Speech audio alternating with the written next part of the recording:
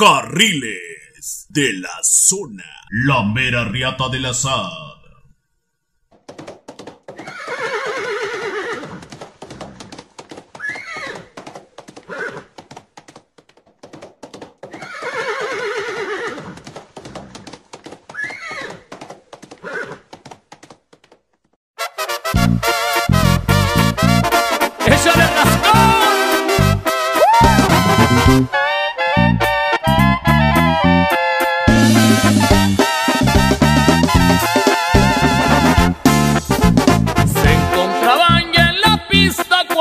Cuando apostaron los cueros.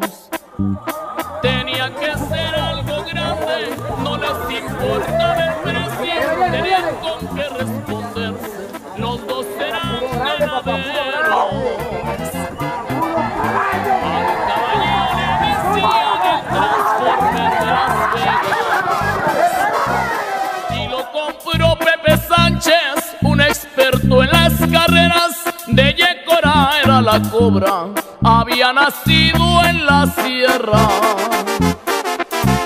Un viernes 12 de octubre casi nadie lo recuerda. El